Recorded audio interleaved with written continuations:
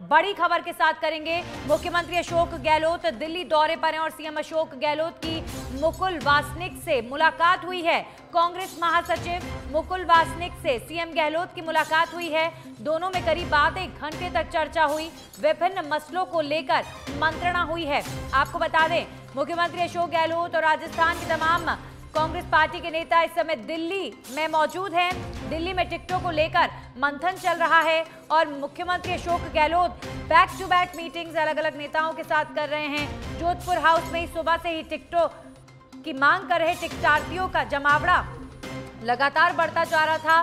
मुख्यमंत्री ने इसी बीच उनसे भी मुलाकात की है और मुकुल वासनिक से भी सीएम अशोक गहलोत की मुलाकात हुई। हमारे सहयोगी दिनेश डांगी जुड़ गए हैं। दिनेश, सीएम अशोक गहलोत इस वक्त दिल्ली में मौजूद हैं और बैक टू बैक मीटिंग्स अलग अलग नेताओं के साथ। आप पहले अजय माकन से सीएम मिले, फिर आज मुकुल वासनिक से भी मुख्यमंत्री अशोक गहलोत की चर्चा हुई। क्या कुछ निकल कर आ रहा है इस बैठक से? जी, देखिए, बिल्कुल सीएम अशोक गहलोत की जो दिल्ली के बड़े सेंटर के नेता हैं, उनसे लगातार मुलाकात जारी है। पवन खेड़ा से मुलाकात की, कोषाध्यक्ष अजय माकन से मुलाकात की और अब से थोड़ी देर पहले मुकुल वासनिक जो राजस्थान से राज्यसभा सांसद है, उनसे सीएम अशोक गहलोत ने उनके आवास पर जाकर मुलाकात की। करीब आधे घंटे तक चर्चा चली और ज़ाहिर सी बात है, चुनावी रणनीति और अन्य मसलों को लेकर उनके बीच चर्चा हुई। हालाँकि आधिकारिक ब्यौरा सामने नहीं आ रहा कि मुलाकात का एजेंडा क्या था। मुलाकात के बाद एक बार फिर सीएम अशोक गहलोत है, वो जोधपुर हाउस पहुँच चुके हैं और फ़िलहाल जोधपुर हाउस में मौजूद है। और आगे का जो कार्यक्रम है, उसके बारे में भी कोई जानकारी नहीं दी गई है, लेकिन यहाँ पर भी टेलीफोनिक ज़रिए उनकी जो बातचीत है, वो यहाँ पर टिकटों को लेकर जारी है। जी बिल्कुल दिनेश तो टिकटों को लेकर जो मंथन है वो दिल्ली में लगातार हो रहा है और आज मुख्यमंत्री अशोक गहलोत भी लगातार बीते दो दिनों से कल स्क्रीनिंग कमेटी की बैठक लंबी चली। जो ये मंथन है कांग्रेस पार्टी में, इसमें मुख्य भूमिका में तमाम राजस्थान के नेता हैं ही और साथ ही साथ टिकटार्थी एक बड़ी उम्मीद के साथ सीएम गहलोत से आज मिलने के लिए भी पहुँच गए राजस्थान से। बड़ी संख्या में टिकटार्थियों का जमावड़ा देखा गया जोधपुर हाउस के बाहर।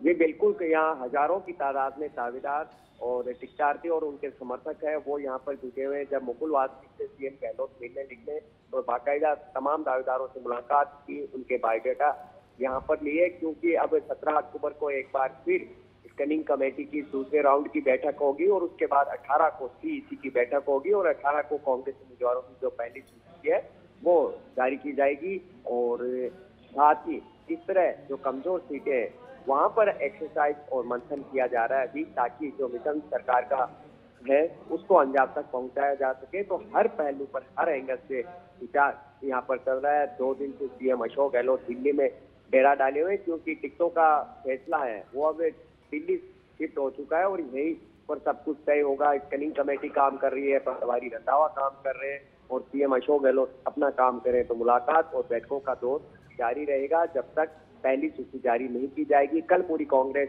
बारह ज़िले में रहेगी, क्योंकि ईआरसीपी को लेकर यात्रा है, का आगाज़ होने जा रहा है। पार्टी अध्यक्ष मल्लिकार्जुन खड़गे उसका आगाज़ करेंगे और उसके बाद ये सारे नेता यात्रा को एक दिन पोस्टपोन करके वापस दिल्ली पहुँचेंगे और वहाँ भी बैठकों का दौर जारी रहेगा।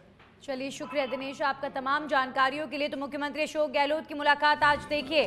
कांग्रेस के तमाम केंद्र के नेताओं के साथ हुई अजय माकन, पवन खेड़ा, साथ ही साथ आज मुकुल वासनिक से भी मुख्यमंत्री अशोक गहलोत ने मुलाकात की है। तो हर एक मुलाकात के पीछे मायने हैं, बड़े मायने हैं। टिकटों को लेकर मंथन हो रहा है। गहमा गहमी तेज है। तमाम टिकटार्थी हज़ारों की संख्या में पहुँच गए दिल्ली। मुख्यमंत्री अशोक गहलोत से मुलाकात करने के लिए हर कोई उम्मीद लगाए बैठा है कि पार्टी उन्हें तवज्जो दे, लेकिन टिकट किसी एक व्यक्ति को हर एक विधानसभा क्षेत्र से मिलना है। तो अब एक व्यक्ति का चयन करना इतने सारे लोगों में, उसमें जो सबसे बड़ा फैक्टर सामने आ रहा है कि जो जिताऊ उम्मीदवार है विनेबिलिटी फैक्टर ही देखा जा रहा है, बाकी कुछ भी नहीं।